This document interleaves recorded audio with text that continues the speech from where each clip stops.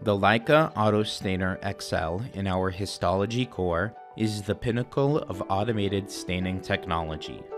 This machine excels in delivering high quality, consistent staining results with the capacity to handle up to 330 slides simultaneously.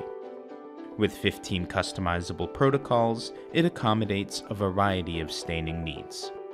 The AutoStainer XL specializes in the essential H&E staining, clearly delineating cell nuclei in blue with hematoxylin and various other cell structures in shades of pink with eosin.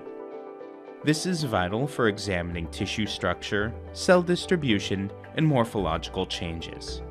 Learn more about how this tool supports advanced research at cores.research.asu.edu.